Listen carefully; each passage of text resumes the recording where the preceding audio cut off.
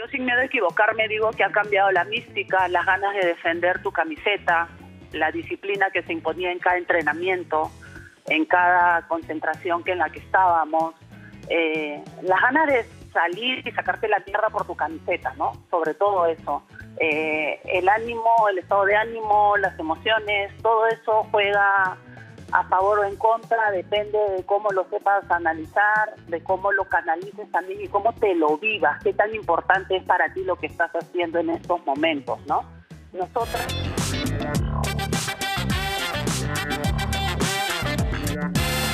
David, lamentable la noticia del voleibol peruano en la rama femenina, categoría mayores, que viene disputando el sudamericano, donde el día de hoy ha sucedido algo histórico, porque Perú nunca había perdido con Chile en esta categoría y menos en un sudamericano. El día de hoy la selección que dirige Francisco Paco Herbaz terminó cayendo 3 a 2 frente a la selección chilena y esto las ubica últimas en el sudamericano. ¿no? Un golpe muy duro, ¿no? Un equipo eh, como Chile al que siempre Perú lo ha tenido por arriba siempre y, hoy nos ha superado, ¿no? nos ha ganado y es, motivo de preocupación, lo decíamos justamente al inicio, porque no sabemos qué va a pasar en el futuro.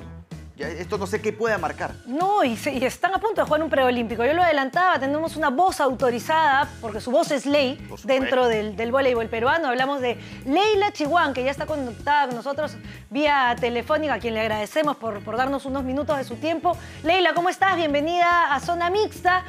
Em, duele esta derrota, ¿no? Duele muchísimo esta derrota frente a la selección de Chile en el sudamericano. Buenas noches, chicos. Eh, sí, duele, duele mucho, pero no el hecho de que sea de que sea Chile, eh, duele perder contra cualquiera. Perú es una selección olímpica, Perú es una selección medallista, Perú es una selección protagonista en donde participó, donde participé, hasta el 2010, dejando a la selección de mayores en un mundial, habiendo jugado mi generación dos Olimpiadas, las generaciones anteriores, ni qué decir.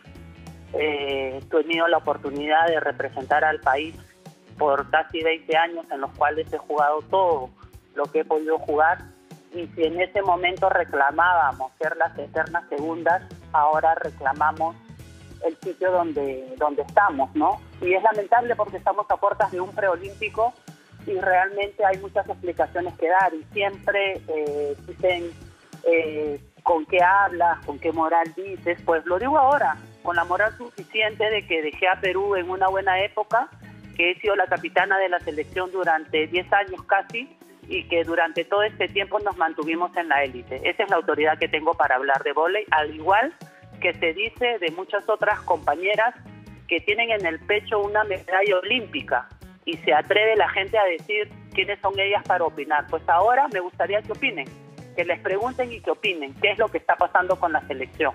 Como público, como peruanos, necesitamos una explicación. Leila, eh, perdóneme David, rapidito. Esto es un retroceso en el voleibol peruano, ¿no? Porque teniendo en cuenta que Francisco Paco Hervás viene de un proceso anterior, no es que recién está asumiendo la selección peruana, viene de un proceso anterior en el cual no se ve una mejora. No se ve ni siquiera que Perú se haya estancado, sino que incluso ha retrocedido en su nivel.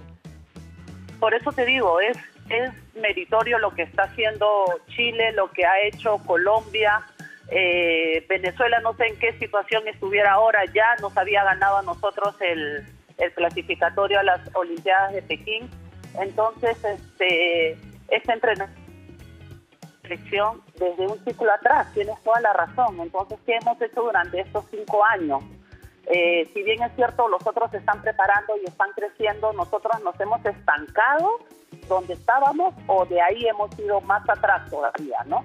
Entonces, eh, no es cómoda la situación ni para mí como ex capitana, ni para mis compañeras como ex olímpicas, ni para las chicas que están actualmente en la selección, porque el ánimo no debe ser muy bueno para poder afrontar ahora un preolímpico en un grupo que vamos, o sea, necesitamos anímicamente, aunque sea ganar un set, y eso ni siquiera está asegurado. ¿Qué vamos a hacer en los próximos cuatro o seis años, qué ciclo olímpico nos espera fuera de una Olimpiada, eh, ya estamos abajo, ya hemos tocado fondo y a veces ese es el punto de quiebre que se necesita para hacer nuevas cosas, para intentar reformular. Yo me acuerdo que esta gestión tenía un plan de resurgimiento del voleibol peruano. ¿Este es el resurgir? ¿Estamos en esa etapa?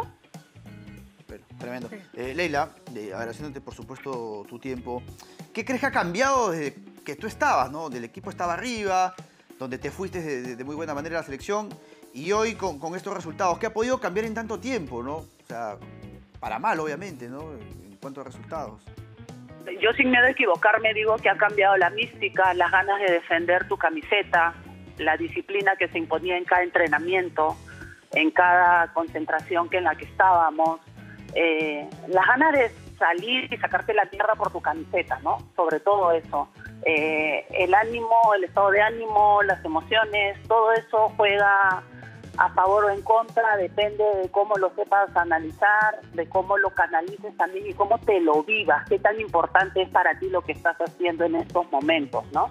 Nosotras éramos casi 14 jugadoras fuera, en Europa, concentrábamos en Europa. Una vez le contaba un par de anécdotas a, a Daniela en una entrevista que trató de hacerme, pero terminó en una buena conversación y le decía, concentrábamos en Madrid porque estábamos todas fuera.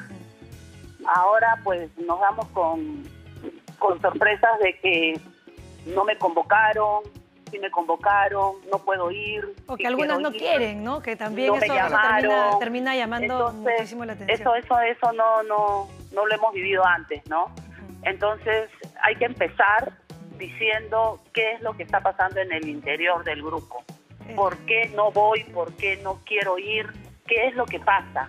Uno nunca le dice no a su selección, pero todas tienen sus, sus motivos, ¿no? Entonces, hay que escucharlas, hay que escucharlas. Y definitivamente tenemos que volver a la vieja escuela, a lo que nos resulta, al juego rápido, a la mezcla del físico con el con la habilidad, lo que hizo Estados Unidos, lo que hizo Brasil en un momento. Cuba era superior por el físico, pero Japón, China, Corea seguían siendo rápidas. Ahora Japón, China, Corea son rápidas y son altas.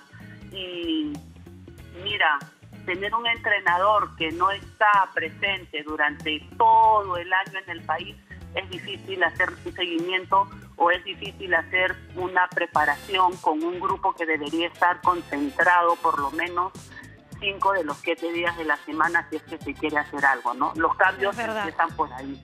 Leila, el tiempo en televisión es ingrato, definitivamente da para hablar y analizar muchísimo este tema, porque como bien decías, creo que eh, el voleibol peruano está tocando fondo y ojalá sea para resurgir. Así que la invitación está hecha para próximamente volver a hablar contigo sobre la selección peruana. Muchísimas gracias por el tiempo, Leila. Un abrazo gracias a ustedes y es momento de replantearse quién va a dirigir a las futuras elecciones nacionales.